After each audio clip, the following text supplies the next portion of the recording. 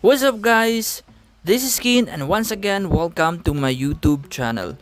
So for today's video, ituturo ko sa inyo yung latest and updated steps para makapag-enroll kayo sa inyong SSS ng disbursement account. Ito lang naman ay kailangan bago kayo makapag-loan ng calamity or salary loan kay SSS. Pero kung bago ka lang sa aking YouTube channel, this is Kin, your full-time HR slash vlogger. So gumagawa ako ng mga latest update tungkol sa inyong government mandated benefits tulad ng pag-ibig, SSS, DOLE at iba pa. At gumagawa din ako ng informative videos na mga gamit natin sa pang-araw-araw nating mga buhay. So kung gusto nyo yung mga video na yon, huwag kalimutan mag-like, comment sa bandang ibaba at mag-subscribe para maging updated ka sa susunod ko mga videos. Mga dapat mong malaman tungkol sa iyong disbursement account enrollment module. So bago ka makapag-apply ng any benefit ng SSS o kaya ng iyong SSS loan ay kailangan muna na meron kang naka-enrolled na disbursement account sa iyong SSS account. So lahat ito ng SSS members. Ang acceptant lang nito ay yung mga members na merong UMID ATM card. Kasi dito i-deposit ang iyong mga benefits kay SSS. So, paano nga ba ito ginagawa? Ituturo ko na sa inyo yung step-by-step process ng pag enroll ng iyong uh, disbursement account sa SSS. Una, mag-login lamang sa iyong MySS account online. So once na open mo na yung members MySS account mo, pumunta lamang sa e-services at pinutin yung benefit redisbursement module. Tapos ito na yung next mo makikita. Pinutin mo yung click here para makapag-enroll. Tapos ito yung reminders na lalabas. Dapat daw yung bank account details mo and mobile numbers ay valid and active and should not be among of the following. Hindi daw pwede yung close account, dormant account, then yung account na magkaiba doon sa uh, pangalan mo at pangalan ng account mo, dollar account at iba pa. Hindi rin pwede yung duplicate account or numbers dahil automatic yan marireject ni SSS.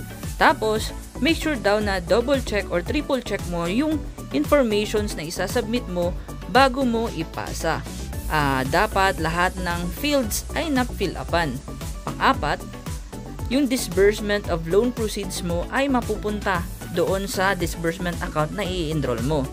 Panglima, in case na may error sa pag-encode or sa pag-provide ng details or invalid or closed disbursement account, the, the redisbursement or recrediting of your benefit may take at least 30 days bago ma-process.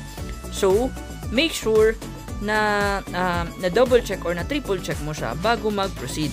And of course, important reminders, uploading of proof of disbursement account is required. So only verified approved accounts shall be used for disbursement of loan. Benefit proceeds by the SSS. So kung okay ka na dyan, punta lang sa pinakaibaba and um, pinutin mo yung I certify that I have read and understood then pinutin mo yung proceed.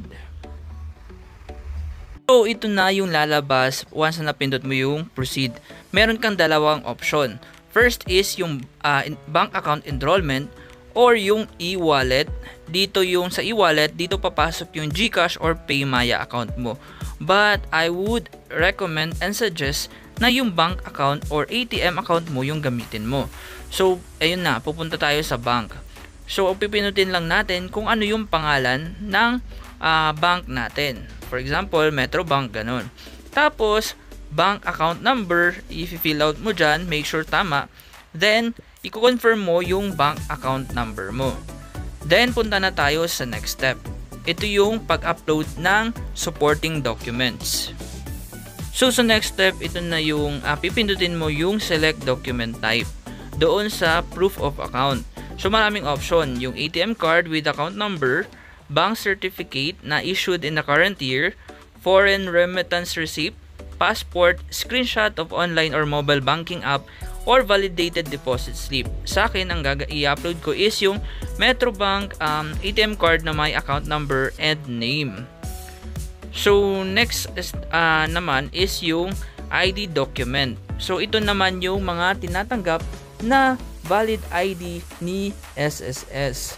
So ito, uh, social uh, social security card, uh, Philippine identification card or yung field card, number 3 alien certificate of registration, driver's license, firearm registration, passport, postal ID, voter's ID, at iba pa. So yan lang yung mga tinatanggap ng SSS na valid IDs or documents. Tapos ang pangatlong i-upload mo ay selfie photo na kasama yung ATM card mo at yung valid ID mo. So ganyan yung sample. Dapat kita yung details para ma-approve agad ni SSS.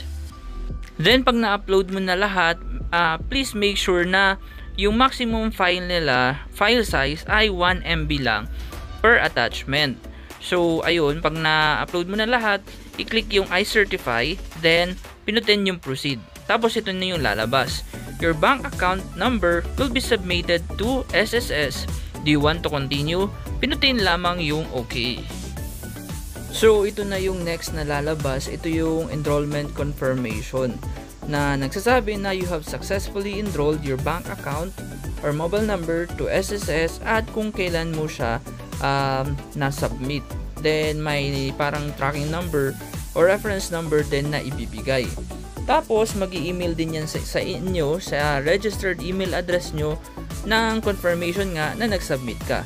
Then, ito ay subject for approval pa ni SSS para i-check nila kung yung documents na pinasa mo ay sa'yo nga at tama. So, mag email na lang yan sila sa inyo pag successfully submitted or successfully enrolled mo na yung disbursement account mo. Ito yung sample ng email nila once uh, uh, successfully uh, completed mo na yung transaction.